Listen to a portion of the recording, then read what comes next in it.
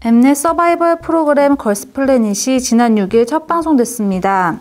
걸스플래닛은 서바이벌 명가로 이름을 날리던 엠넷이 프로듀스 아이돌 학교로 투표 조작 물의를 일으킨 뒤 처음 내놓은 야심작입니다. 투표 조작으로 대국민적 분노를 사고 담당 프로그램 PD들이 구속되는 초유의 사태로 곤두박질 친 엠넷은 걸스플래닛을 통해 명예를 회복하고 이전의 명성을 되찾겠다는 포부입니다. 뚜껑을 열어본 걸스 플래닛의 첫인상은 그리 신선하진 않습니다. 한국, 중국, 일본 각 33명의 소녀들이 모여 서바이벌을 펼친다는 것 외에 전체적인 포맷은 프로듀스 시리즈와 별반 다를 바 없어 보입니다. 걸스 플래닛 1회는 기존 엠넷 서바이벌 프로그램의 기시감이 너무도 짙고 평이하게 느껴집니다. 세트 구성을 비롯해 서바이벌 무대의 카메라 앵글이나 편집 구도면에서 특별히 달라진 게 없어 어디서 본 듯한 인상을 지울 수 없습니다. 특히 이른바 악마의 편집이라고 불리는 엠넷 특유의 편집술은 식상함을 배가시키는 1등 공신입니다. 그룹 CLC 헬리콥터를 미션 무대로 선택한 중국 팀은 걸스 플래닛에 참가한 CLC 최유진과 묘한 신경전을 벌이며 원곡보다 잘할 자신 자신 있다고 도발하는데 이를 난감해하는 최유진과 당황하는 여러 참가자들의 얼굴이 차례로 비쳤습니다.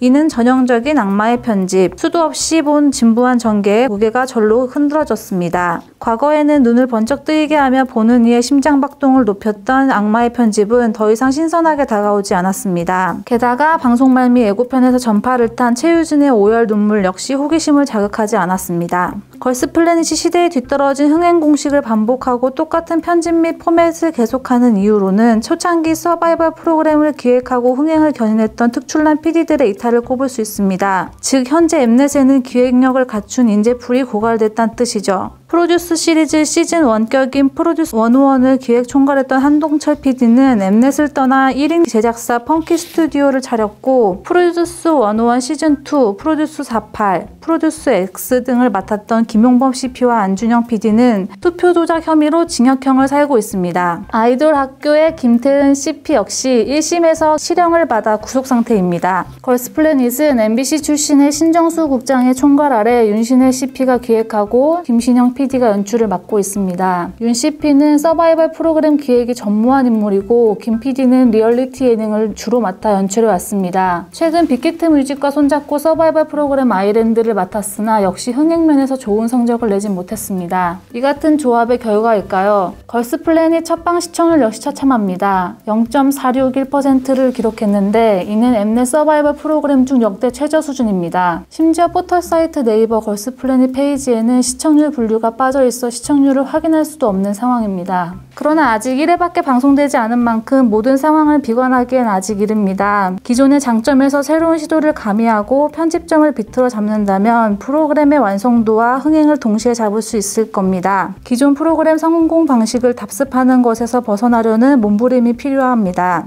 무분별한 정보 속에서 표류하는 이슈를 날카롭게 보고 핵심을 꼬집겠습니다. 최지혜의 찐담화